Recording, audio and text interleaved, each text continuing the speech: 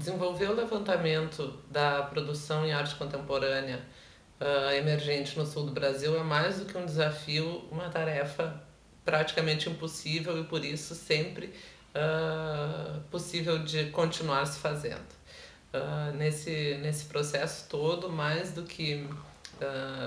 entrar em contato com uma produção, muitas vezes a qual falta justamente essa interlocução, essa presença de, um, de um agente de fora, também é uma oportunidade inigualável para quem faz a pesquisa, não só para quem recebe, como para mim enquanto assistente curatorial. Nesse processo, uh, não só pude conhecer melhor a, a arte produzida na região da onde, na onde eu vivo, como também uh, desenvolver uh, maneiras de articular todo um pensamento que vem se desenvolvendo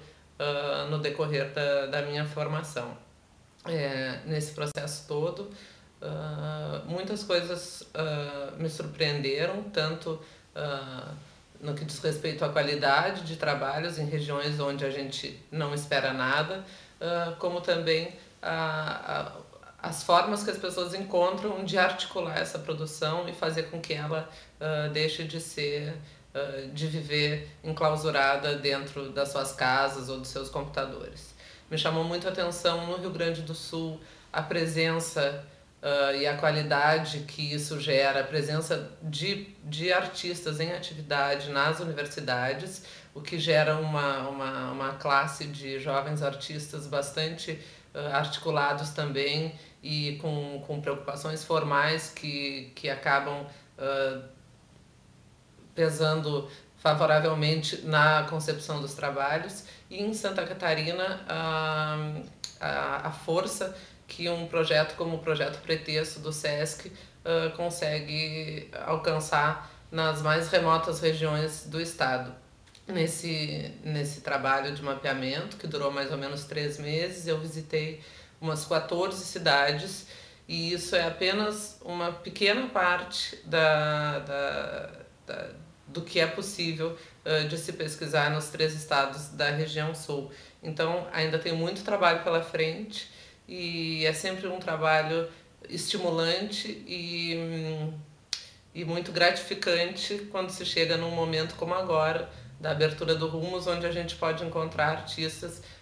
de vários lugares de todo o país reunidos e selecionados por um mesmo critério, digamos assim, que é um, que é um critério de qualidade dos trabalhos, colocando finalmente todas as pessoas em contato e ampliando ainda mais uma possibilidade uh, de interlocução entre a arte contemporânea uh, produzida em todo o Brasil.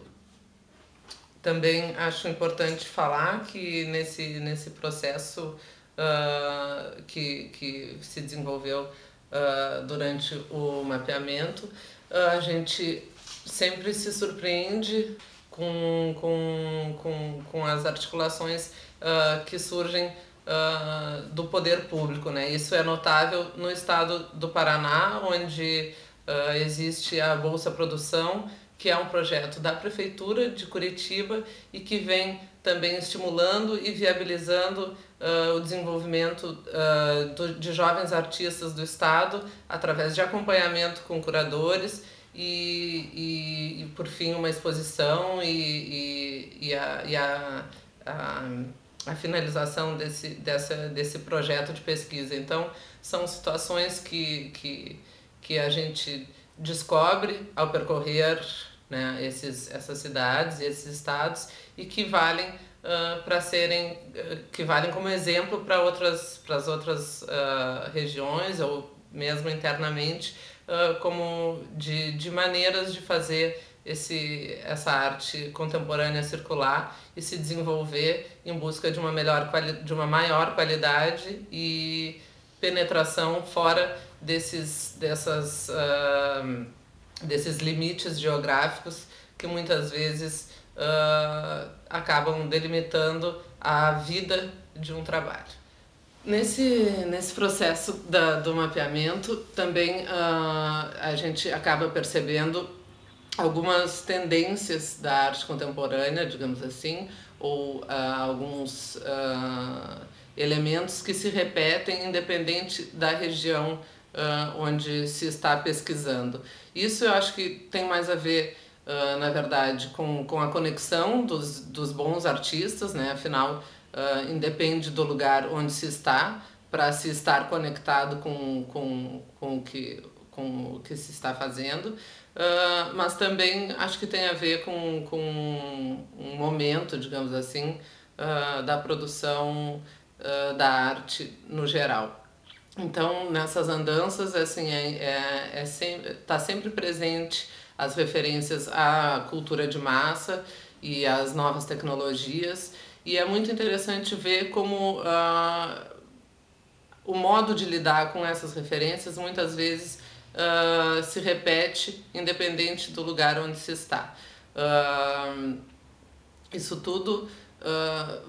nos faz pensar que, que, que mais do que o isolamento geográfico, que muitas vezes pode, uh, pode parecer para uma cidade como Rio Grande, no extremo sul do Rio Grande do Sul, ou Chapecó, no, né, lá nos confins de Santa Catarina, uh, mais do que esse isolamento geográfico, o importante é não estar isolado culturalmente. E, uh, e existem meios para não se estar isolado, né? E isso, uh, claro, quanto menor o lugar, mais depende da vontade individual uh, do artista para que, que isso ocorra. Então, essa situação